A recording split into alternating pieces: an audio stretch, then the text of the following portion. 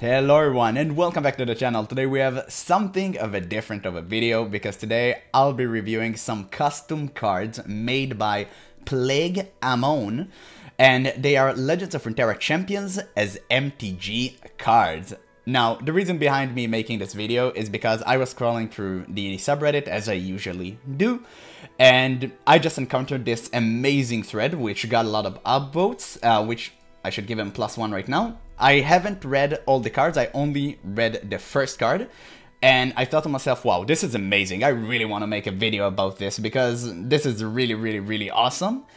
And uh, as you remember, I've made I also made a reaction video about the Leg League of Legends cinematic, and it immediately became my second most viewed video on this channel. So it seems like you guys love reaction content, and I want to make more of these. And I do love reviewing cards, and reviewing custom cards just seemed like the next logical step. So I'm you know kind of experimenting here with you guys. So let me know if you guys like this type of videos.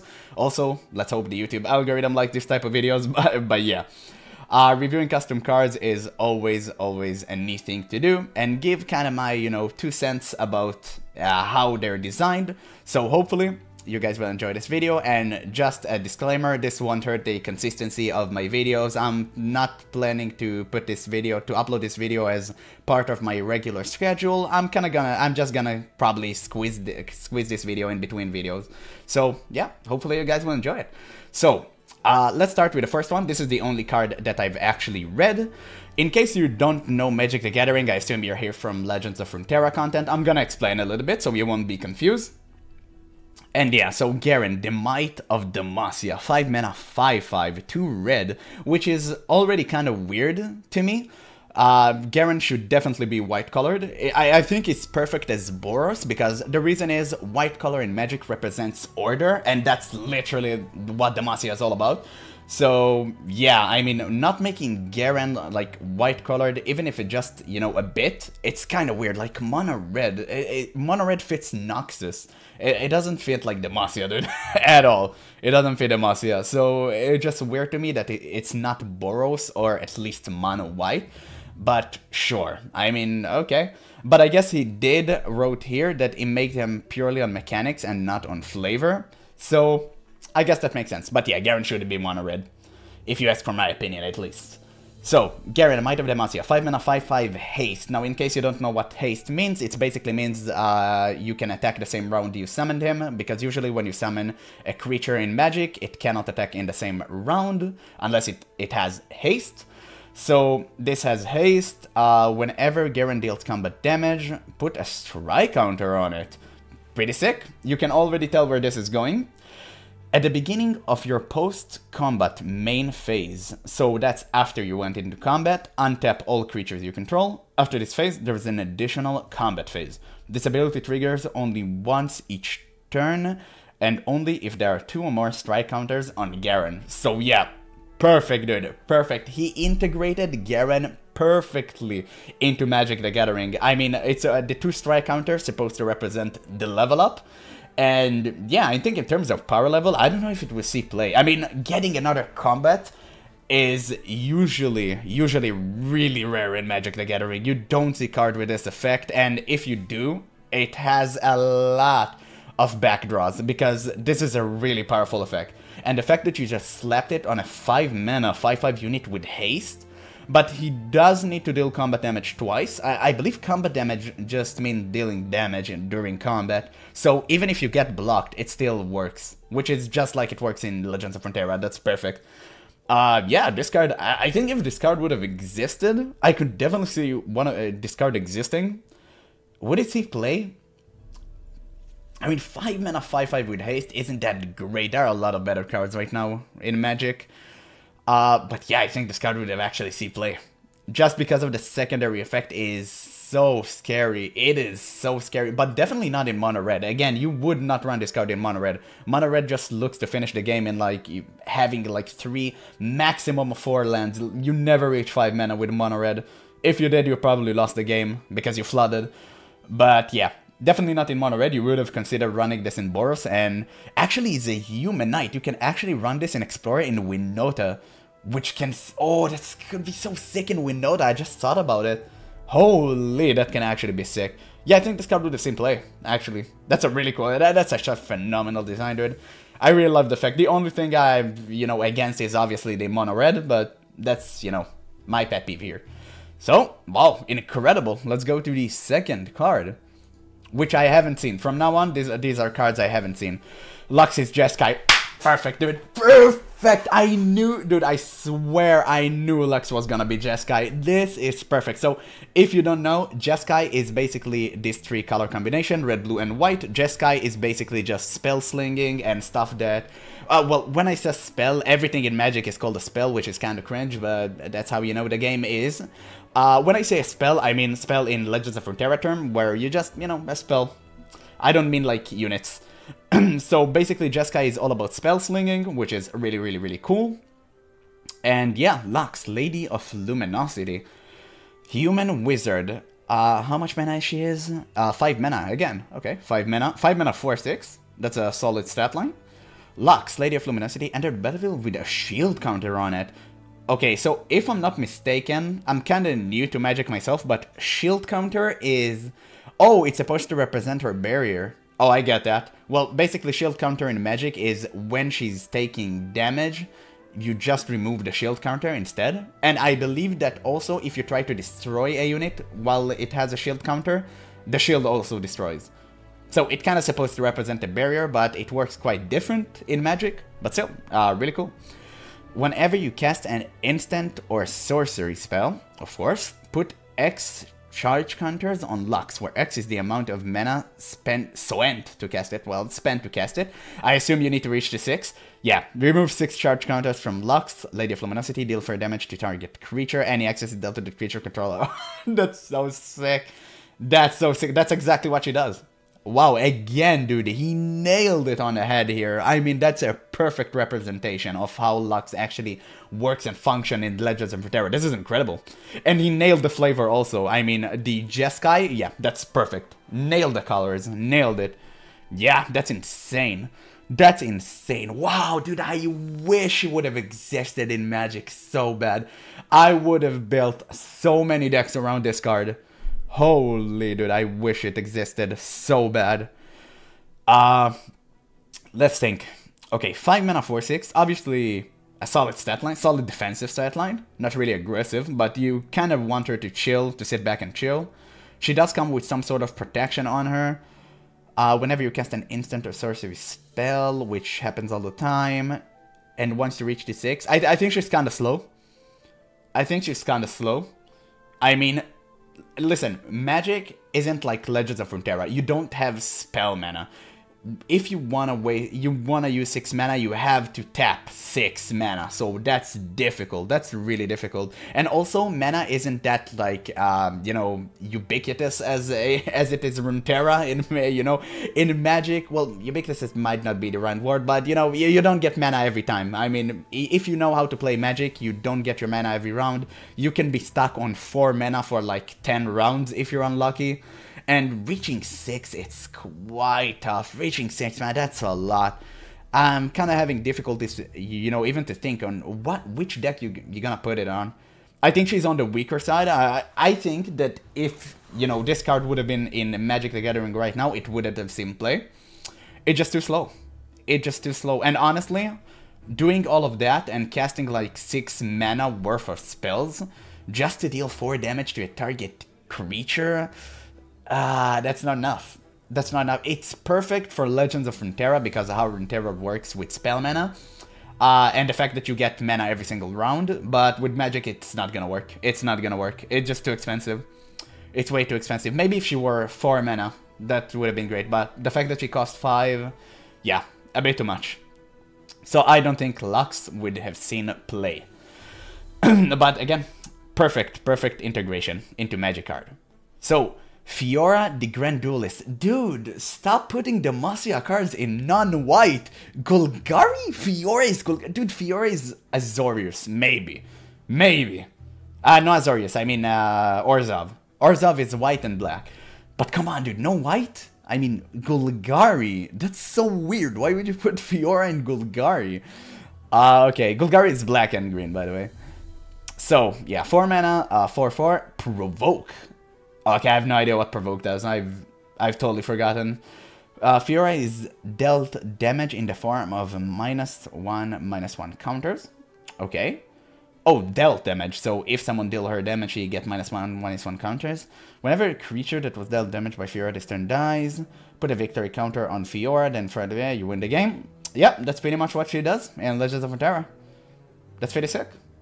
I, I think provoke, just by the name of it, it's some it's supposed to represent challenger, so maybe you get to pick which blocker is gonna block against you. So I'm gonna assume that this is it. But I've never heard about this keyword before. Again, I'm kinda new to Magic, so I've never heard about this keyword. But yeah, this is pretty much a perfect uh, representation. This is this is nice. This is a really nice card. The only thing I don't understand is why the hell is Golgari, but yeah, I don't think it will seem play. I mean, 4 mana 4 4 without charge, without any stats, it's way too slow for Magic. It definitely would not see any single play. And Magic also really, really lacks defensive cards. I mean, uh, that's exactly what I'm talking about in terms of color. I mean, green and black does not have defensive cards. It's usually white that has the protection cards. I mean, green does have some, but, you know, like Tamiyo's protection and stuff like that, but usually it's green and white. It's Selesnya. So I, I don't understand the black color. Uh, yeah, it's kind of weird. It's kind of weird.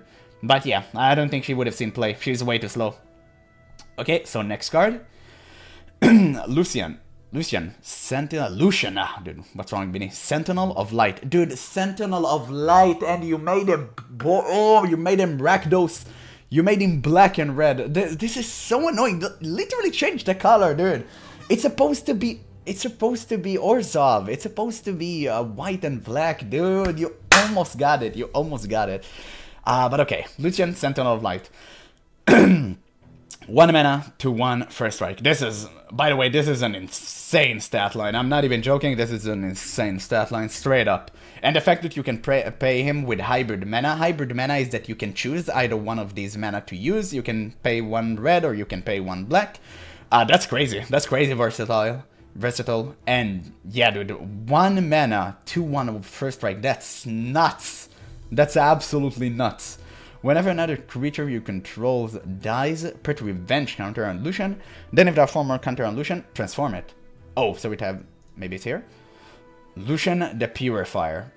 Double strike whenever a creature you control dies, if it's a turn on temple creature you control. Yeah, this is insane, dude.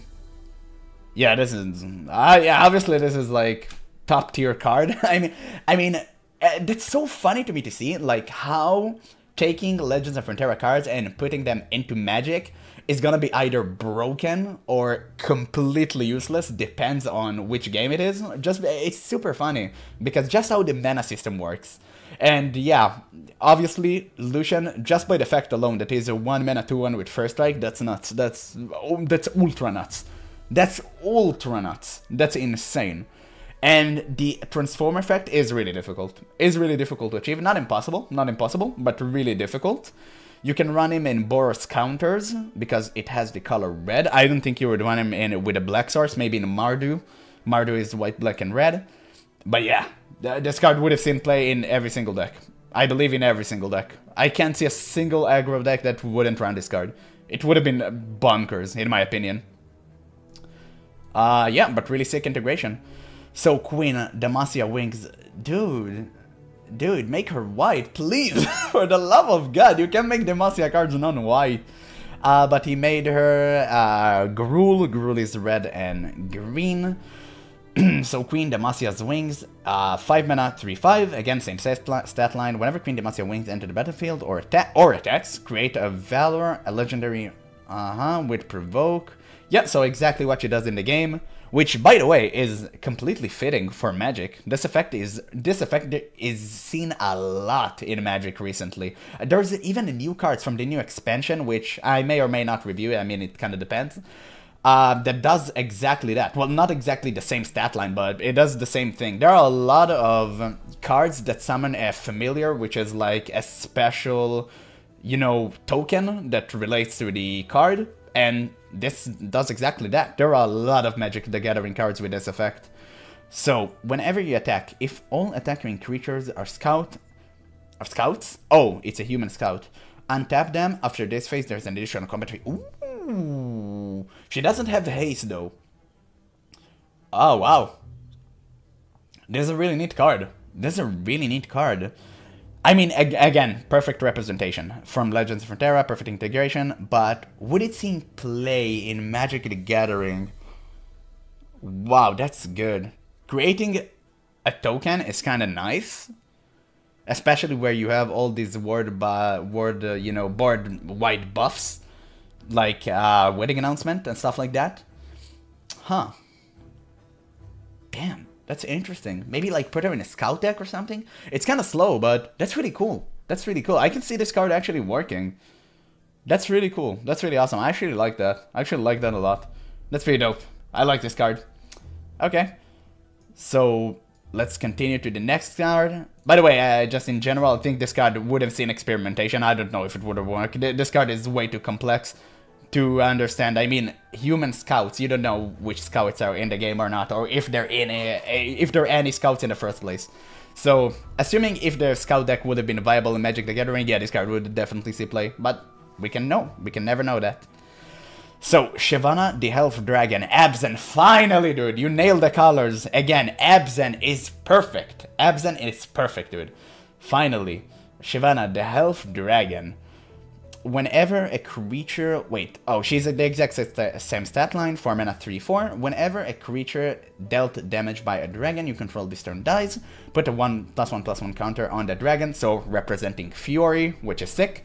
Whenever Shyvana attacks you, it gets plus 2 plus 2 until end of turn, and you may pay Golgari mana. When you do, target creature you don't control fights target creature you don't control, you may regenerate any dragon targeted this way. That's pretty sick. That's that's pretty sick. That's exactly what she does. It's essentially supposed to represent her spell when she attacks, when she leveled up. And yeah, that's six. But uh, by the way, this effect is insanely broken. this is insanely broken. I'm 4 mana 3 4 that get plus 2 plus 2 when she attacks. That's insane. That's insane. And that's exactly the theme of Abzan. And the fact that she gets regenerate by the way, regenerate is, if I remember correctly, again, this is a really old keyword, you don't see it anymore. Um, it's basically when you have the regenerate keyword on you, the moment you die, uh, you just instantly come back to life. So if, let's say, Shyvana had a regenerate uh, token on her, and she died, she just instantly come back to life, but regenerate only works for the same round you casted it. If I'm not mistaken, it removed at the end of it is removed at the end of the round. So yeah, regenerate only works for the same round you casted it. So yeah, that's pretty dope. That's pretty dope. That's that's insane. It would have seen play in any Abzan deck. Uh, not even a dragon deck. Just the fact that you have a 4 mana that turns into a 5-7, uh, 5-6 when it attacks, crazy. That's crazy powerful. That is, that is insane. And the fact that even if someone blocks her, she just got plus 1, plus 1, that's crazy. That's crazy powerful. That's insane. Uh, so yeah, again, perfect integration and insanely cool card. I would have loved, dude, I would have played the hell out of this card. Man, I miss Abzan. Abzan hasn't seen much love in a while. Holy, Abzan, by the way, is white, uh, you know, black and green. So, uh, let's, next card, Jarvan, finally, dude. What in God's name is that? Jarvan is Bant? I don't know. I don't think Jarvan is Bant. I, I don't understand the blue color here. I think Jarvan is more like Selesnya. I, I think Jarvan is more like Selesnya, more than Bant. But I guess it can work as Bant. I mean, I mean, I can work in Bant. He can work in Bant. Yeah, you know what? Maybe I'm mistaken. I'm thinking he's more white and green. I kind of don't understand the blue part, but it can work. It can work. So Jarvan IV or Jarvan Jarvan the fourth provoke. So again, the challenger 6-4 and he costs 6 mana, of course, same stat line. You may cast Jarvan uh, as you attack. Ooh, if you do, it enters the battlefield with a shield counter on it. Tapped and attacking. Oh, that's insane insane, dude. Whenever a creature is forced to block Jarvan, put a shield counter on Jar Yeah, that's insane. That that would have seen, without a single doubt in my mind, that would have seen play in every single deck. In every... Bro, that would have seen play in every single deck. A 6-4 in Magic with a shield token that can challenge. I mean, provoke its challenger, we kind of figured it out. Dude, what? Th that's nuts. That's nuts. The fact that you can summon it tapped and attacking is crazy. Is crazy. That That's insane. That's insanely powerful. This effect would have seen play in every single deck, no matter what. Every single board-based deck that runs these three colors. Yeah, it's absolutely insane. It would have seen play in every single deck. I have no doubt about it, dude. It's crazy. It's crazy powerful. I mean, 6 mana, uh, yeah, it's on the expensive side, but for this effect? Dude, that's nuts. And he comes with a If he came without a shield counter, I would have understood. But he comes with a shield counter.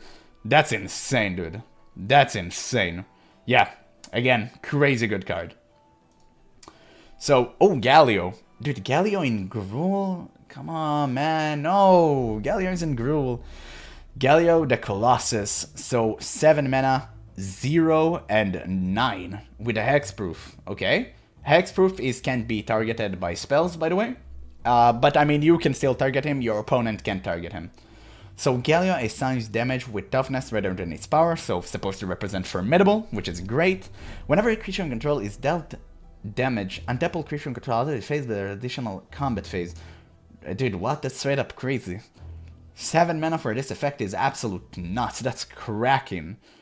Holy dude, that, that would have seen play. No way this card wouldn't have seen play. Hexproof? Dude, Hexproof on this unit, and mind I remind you, Galio is 10 times stronger in Magic than Legends of Runeterra, simply because the fact that in Magic you heal after every round, so in Legends of Runeterra, your unit stays, stays damaged, so if Galio took like 5 damage, instead of, you know, in Legends of Runeterra he would have stayed on 4 health, but in Magic he would have just healed to full at the end of the round. So yeah, that's insane, that's basically a 5 mana 9-9 with the Hexproof, and you get an additional combat phase, dude, that would have seen play in every single deck. In every single deck. That's insanely strong. that, that effect is crazy powerful.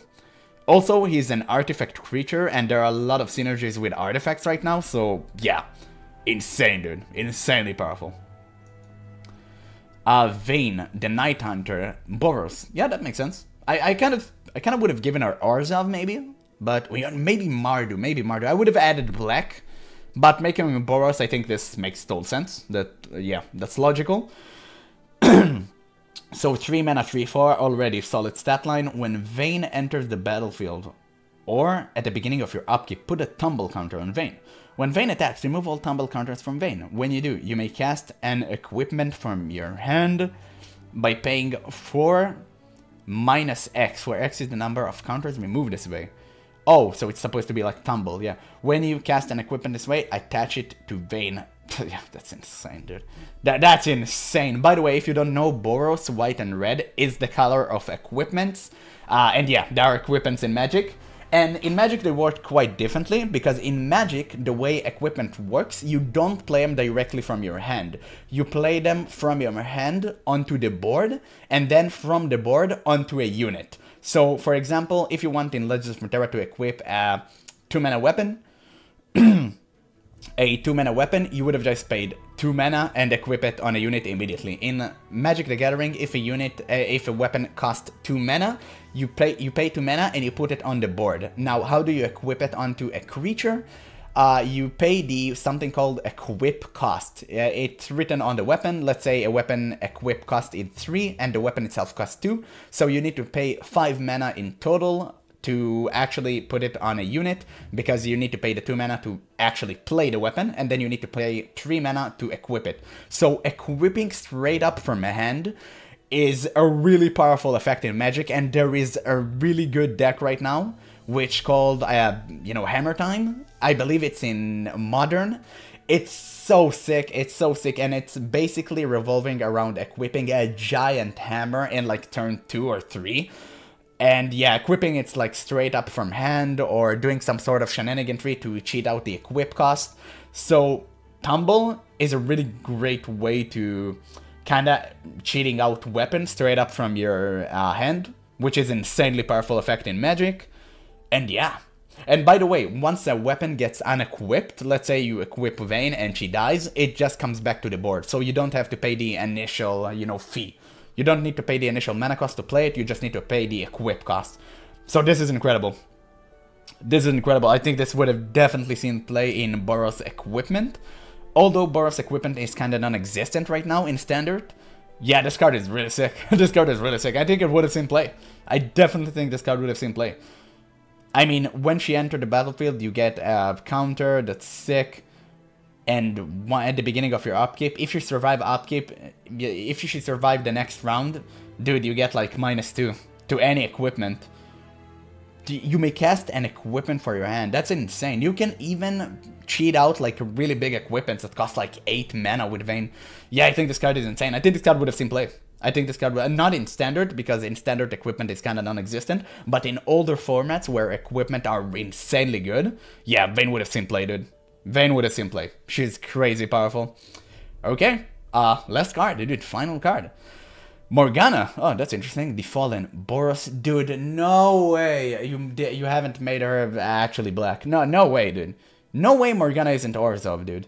Holy. Okay, Morgana the Fallen. 5 mana for 5 with lifelink, of course. Whenever Morgana enters the battlefield or attacks, put 2 Shackles counter on target creature, then Morgana deals 3 damage to target player and 2 damage to each creature uh, with Shackle counter on it. Creature with shackled counters on them can't attack or block. Gain to remove shackle counter from this creature. Yeah, perfect integration. Perfect integration once again. Exactly what she does in the game. Uh, will she see play in Magic? I mean, Shackle, yeah, she would definitely play. dude, she, I, I thought about it for a second and I'm like, yeah, she would have seen play. like, dude, I mean, again, lifelink it's it's kind of weird it, she isn't supposed to be red she's supposed to be black but yeah i mean five mana four or five with lifelink that is a really solid stat line and the fact that you can shackle anything and just prevent it from attacking that's extremely good anti-aggro card that is an extremely good it's she's total garbage against control like total garbage but yeah i mean yeah you know what maybe not that bad maybe you can like now she's not that aggressive. In Magic, you need to be aggressive. You can't afford to like slam a lifelinker down like that. I don't know if she would see play against control, but I would have put like two copies in my deck of Morgana. I think she's still really good because she still deals 2 damage to the player. So yeah, I think she's really good. I think she's actually really good. She definitely would have seen play against aggro because she will decimate every single aggro in the game, aggro deck in the game, but Against control, it's kind of iffy. I'm kind of contemplating, but yeah, this card is insane. It would have seen play. I think it would have seen play in at least one type of deck. So yeah, really great. Wow. So that's pretty much everything. Yeah, we went through everything. We did it one take, so that's um, also a big surprise. But yeah, wow, dude, straight up, perfect. Actually perfect. Every card here is perfect in terms of how it functions. I, I just, the, colors just ticked me off. I'm not gonna lie. the colors just ticked me off. But I guess he did wrote that he did not made them on flavor. He only based them purely on mechanics. He did he did wrote that. Oops. He did wrote that. So yeah. Okay. Uh, shoutouts to you. This was amazing Plague Amon. So straight up, yeah, I already upvote. So you should upvote this post as well and hopefully guys you will enjoy you will enjoy this video. Again i'm gonna squeeze it between videos. It's not gonna support uh, you know hurt my usual upload schedule. And that's all for now. So thank you guys so much for watching. And i'll catch you on the next one